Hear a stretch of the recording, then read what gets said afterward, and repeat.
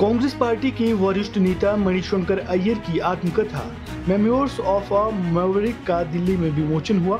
लोकसभा चुनाव 2024 से पहले अय्यर ने अपनी आत्मकथा के विमोचन के मौके पर अपनी ही पार्टी के दो पूर्व प्रधानमंत्री को लेकर ऐसे खुलासे किए हैं, जिसके बाद ये माना जा रहा है कि ये बयान कांग्रेस को नुकसान पहुँचा सकते हैं।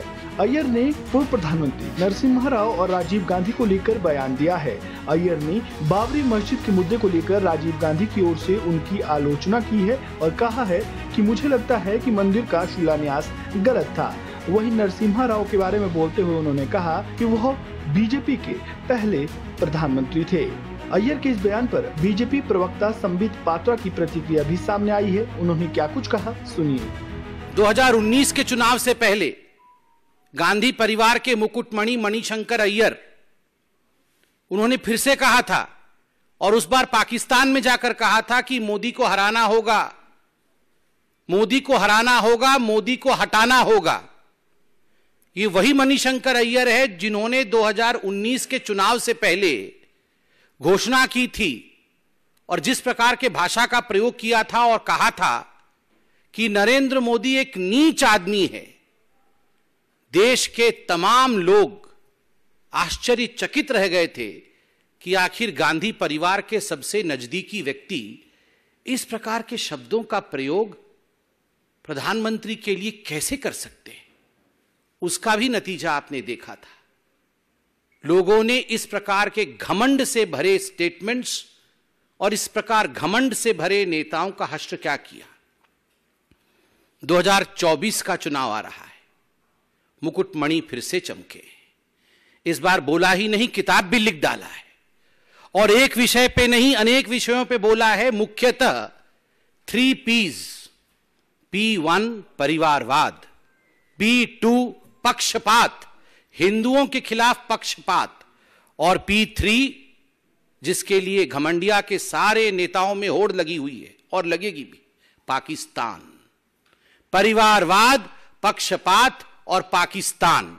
इन तीनों विषयों पर, और ये तीन विषय, ये जो घमंडिया अलायंस है, ये तीन विषय इस घमंडिया अलायंस के सबसे फेवरेट विषय हैं।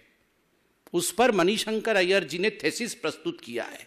और अलायंस के जो the soul of the alliance has been presented by Manishankar Aiyar in the return format जो अलायंस का आत्मा है, उसे आत्मकथा के रूप में मणिशंकर अय्यर ने रखा है। परिवारवाद।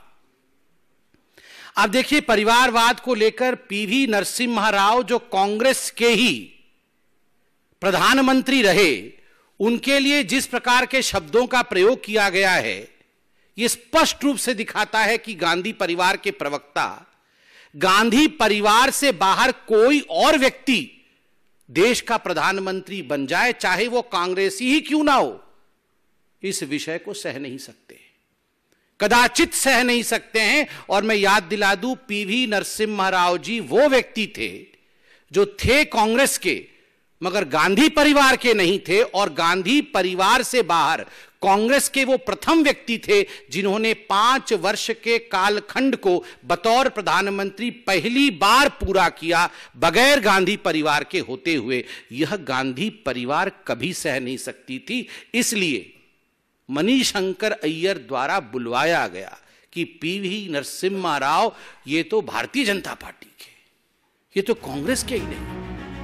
आपको बता दें कि कांग्रेस नेता अय्यर ने कहा कि पूर्व प्रधानमंत्री पीवी नरसिम्हा राव एक सांप्रदायिक सोच वाले व्यक्ति थे। इसके साथ ही उन्होंने कहा कि भाजपा के पहले प्रधानमंत्री अटल बिहारी वाजपेयी नहीं, नरसिम्हा राव भाजपा के पहले पीएम थे। इस खबर में फ़िलहाल इतना ही। ताज़ा अपडेट के लिए बने रही वन इंडिया, हिंदी के साथ।